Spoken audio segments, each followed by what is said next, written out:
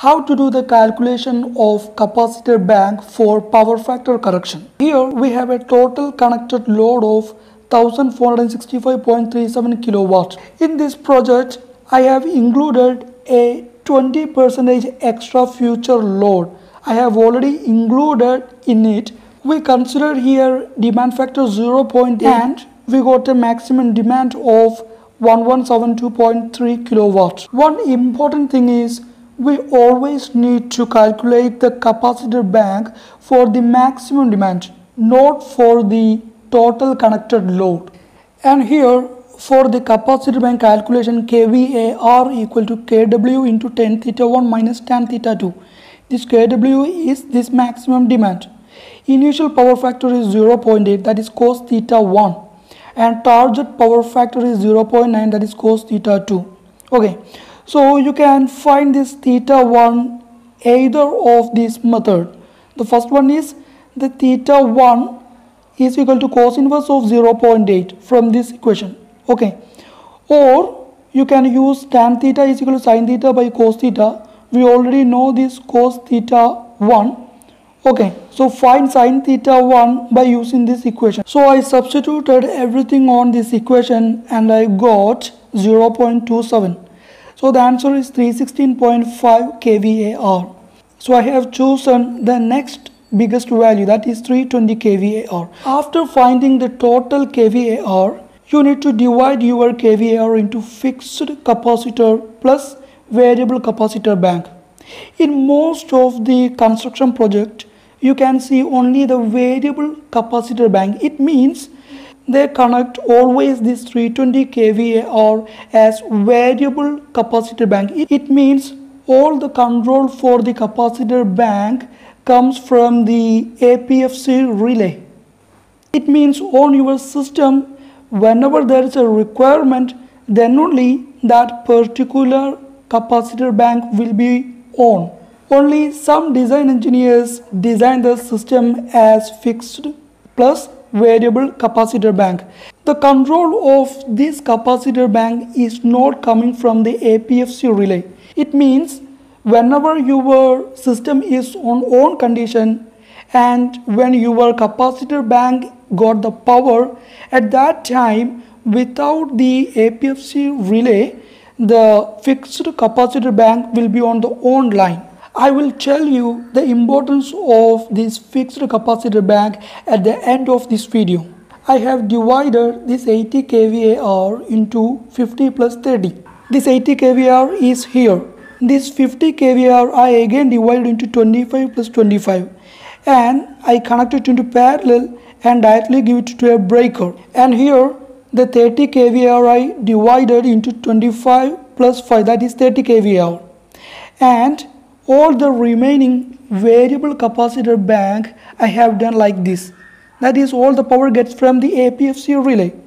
So I divide it into 15 plus 25 into 5 plus 50 into 2 kVAR so the total will become 240 kVAR and here we have total of 8 steps. So if there is a requirement for the kVAR first the step 1 will be started and after step 2 then step 3 and up to step 8 and here you might be thinking that why I have divided this 80 kVAR like this and connected it into two different breakers. The reason is if during the operation if any breaker is damaged then until the replacement of this breaker our system will not get the power factor correction. So if I divided it into two breaker then even if one is damaged the other one will be on the on line and it can handle our load requirement for a, some extent. And the next thing is you might be thinking that why I have divided this 50 kVAR again to 225 kVAR? The reason is same as what I have said on the breaker case if I connected the 50 kVAR a single capacitor, then if it damaged, then until we replace that, our system will not get the power factor correction. But if we use the two different 25 kVAR even if one is damaged, then the other will be on the on line, right? At that time, it can handle our power factor requirement.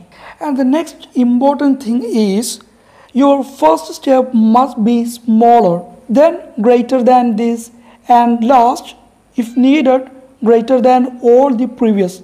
The reason is if your system need small power factor correction requirement, then the small capacitor bank will be on suddenly.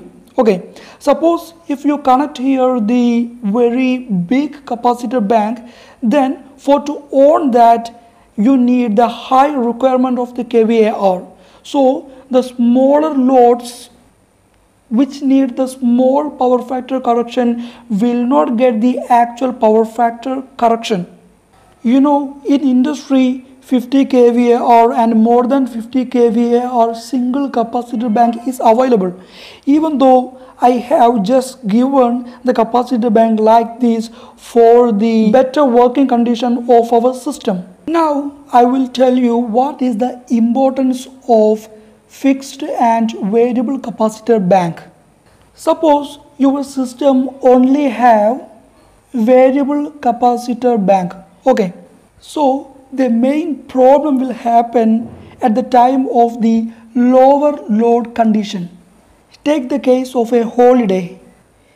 Even on holiday, some persons will be on our building. For example, the building management team, watchman, that type of stuffs, right? On that day, they would use lower loads, means they would use some ACs, some uh, electrical appliances. Okay, their load will be very low.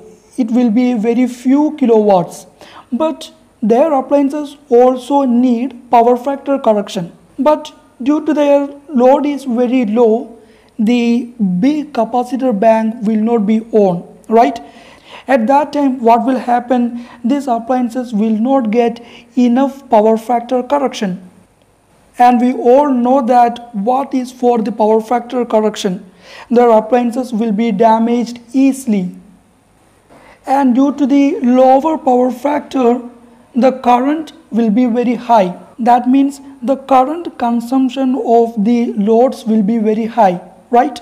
At this time, the cable will be heated too much and there's a chance for the deterioration of cable. And at this time, the lower power factor will be recorded on the smart meter.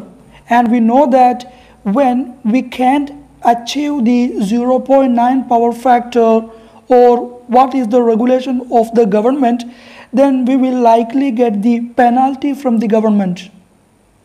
At this stage, we know that our power factor is less, so we will get penalty from government definitely. If you think you have got any deep information through this video, please like it. And if you want to get more videos with lot of information like this, please consider to subscribe my YouTube channel. Thanks for watching.